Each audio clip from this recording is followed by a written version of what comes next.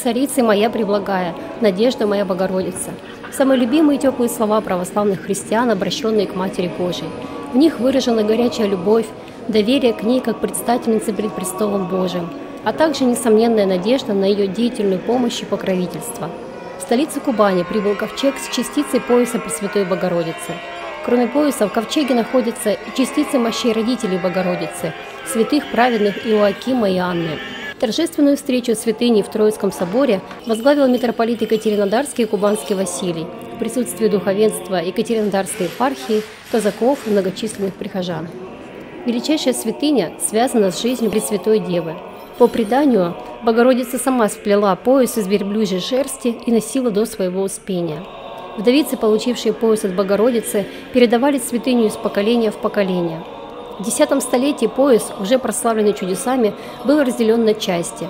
Одна из них хранится теперь на Афоне в Атопецком монастыре.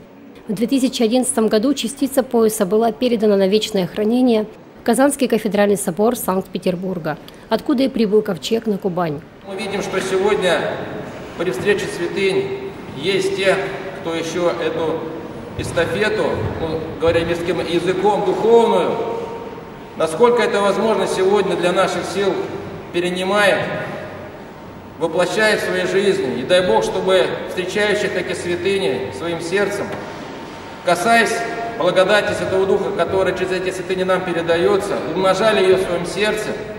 И действительно, мы имеем сегодня надежду на возрождение нашей Святой Руси в наших сердцах и того главного назначения, ради которого наше Отечество и переняло бережно эту главную святыню мировую православие.